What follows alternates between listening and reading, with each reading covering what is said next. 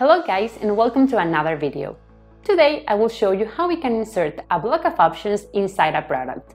In particular, I will use as an example the option to order a pizza to enjoy at home, just like we have it in the live demo for our plugin Yith WooCommerce product add-ons and extra options.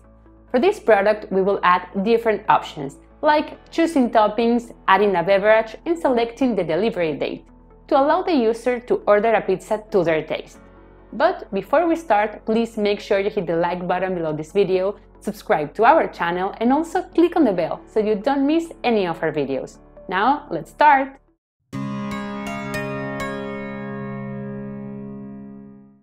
Here we are inside the demo I use for the product add-ons videos. And over here we can see this product that we also find in the live demo for our plugin Yith WooCommerce product add-ons and extra options. What we will do today is add different options to this product to allow the users to customize their pizza. So, to begin, let's go over to our dashboard.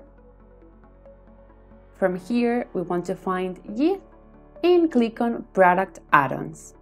Over here, we can see all the previous blocks we have created, but today I want to go ahead and create a new one.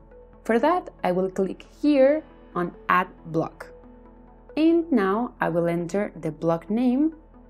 I will call it pizza. Perfect. Now I scroll down to start adding the options right here. I will click add options and for the first one I want to use this one here, label or image. First I will enter the title and this information will actually appear in the product page so I want to enter choose toppings. And now scroll down to start adding the first option.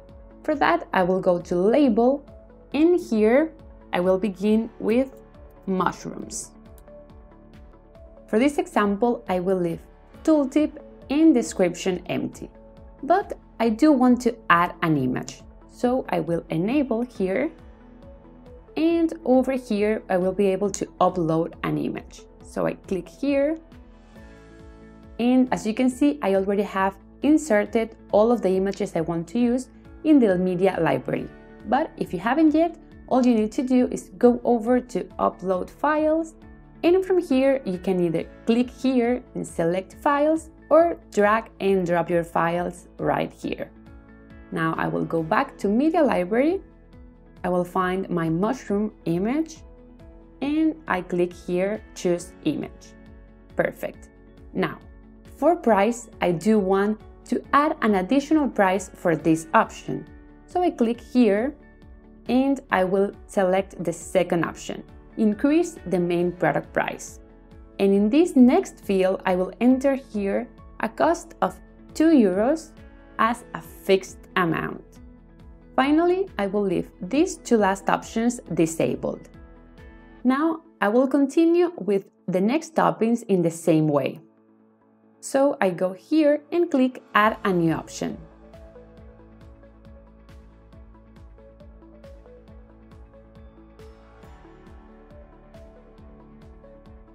Now that we have added and saved all of our options, we can go ahead and have a look at the demo. But in order to do that, first we need to associate our block of options with the specific product we saw in the beginning. For that, we need to go over to Rules and here from this option, show this block of options in, I'm going to change from all products to specific products and categories. Once I enable it, we will see these two new fields. And in the first one, products to include, I will go ahead and search for our pizza product. So here I enter pizza and here I have it, your pizza at home. Now, the other options, I will leave them as they are and now we can save here and we have to save one more time our block. And now we're ready to go have a look. And here we have it. This is the option we have just created. Choose toppings and the eight different toppings we included. Now, I am not very happy with how it looks right now, but we can do a few things to make this much better. For example, I only want to have two rows with four options on each one And I also want to remove this information about the extra price for each option. So to achieve this, let's go back to our block of options. From here, we will go inside our Choose Toppings options. And this time, we will go over to Display Settings. I click here, and first, I want to go here. Hide Options Prices. All we need to do is enable it to hide the information regarding the extra price for each option. Now let's continue here, Options Layout. And first, over here in Options per row, I'm going to change it from 5 to 4. Since we have 8 options in total, I want to have 4 options on each row, so 4 on top and 4 below. And also I want to enable this. Use a grid layout. I'm going to go ahead, enable it, and in options width, I want to leave it set to 100%. Now we can save, and we can go now back to the demo to see what happened. Now I'm going to refresh, and over here we can see the difference. Now it is looking much better. However, there are still a few things that we can modify to make it even better. For example, I don't like that all of the options are set to the left. And also we can notice there are still some of the options that have different sizes. For example, this one is bigger and this one is a bit smaller. So once again, let's go back to our block of options. Here we will go back inside our option, but this time I want to go to this tab here, Style. First, I want to go here, Content Alignment. And as you can see, it was set to left, so all I need to do is select Center. I also want to enable this option, Force Image Equal Heights. I'm going to enable it, and in this next field, Image Heights, I'm going to set it to 25. Now let's go ahead and save, and now we can go back to see what happened. I will refresh one more time and here we have it. It definitely looks much better than before. We can see how all of the options have now the same sizes and also all the images and texts are now centered. Now I want to focus on something else. If we notice here, it says the first three toppings are free and you pay an extra of 2 euros from the fourth topping. However, if now I try to select one, we can see right here in total options that it is adding the charge of 2 euros and I have only selected one option. Again, if I try to select another one, we can see it goes up to 4. So we need to configure this part to offer the first three toppings as free.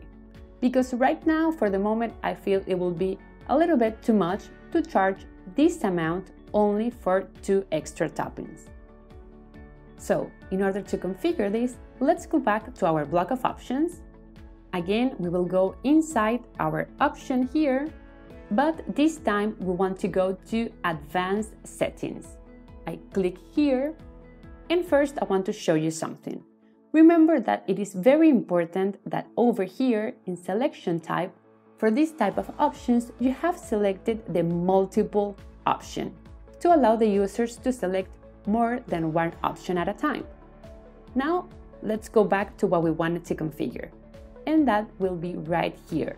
Set the first selected options as free.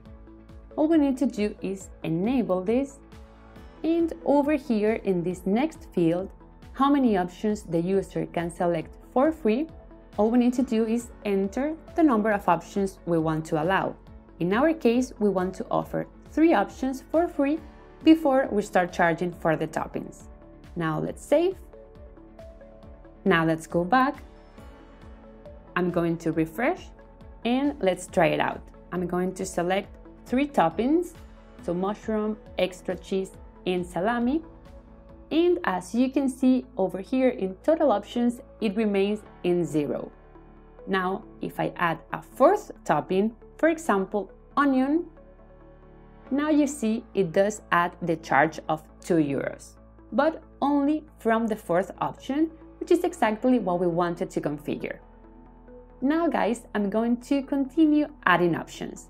The next one I want to include is an option to allow the customer to include a beverage to the order. So one more time, let's go to our block of options. And now we go over here to add our second option. So I click add options. And this time I want to select this one, checkbox. And now let's configure it. For the title, I will enter here, add a beverage. Now I will add the first option, so for label, I will enter first beer. And for these options, the only other field that I want to modify is the price. Everything else will remain the same. Here, I want to add an extra charge for this option. So I click here and I select increase the main product price. For the beer, I will enter a price of 4.5 euros as a fixed amount.